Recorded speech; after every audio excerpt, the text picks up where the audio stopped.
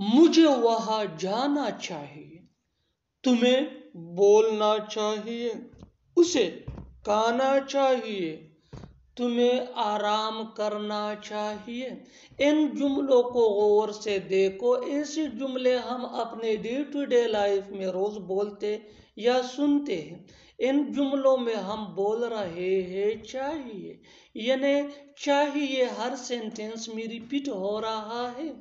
इसके लिए आपको यूज़ करना होगा इंग्लिश में शुड शुड मीन चाहिए। आइए कंप्लीट स्ट्रक्चर समझते हैं।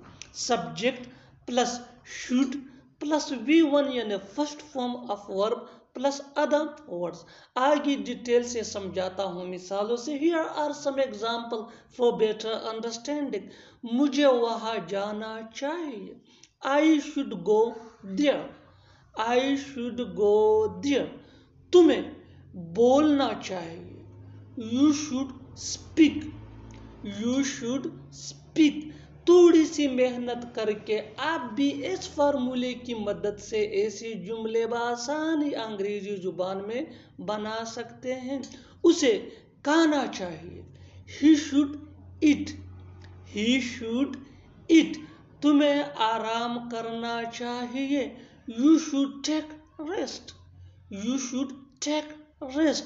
और आखिर में ये सेंटेंस आपके लिए कमेंट सेशन में इसका जवाब ज़रूर देना। उसे आना चाहिए। उसे आना चाहिए। Subscribe to English P S for more advance English sentence structure thanks Madan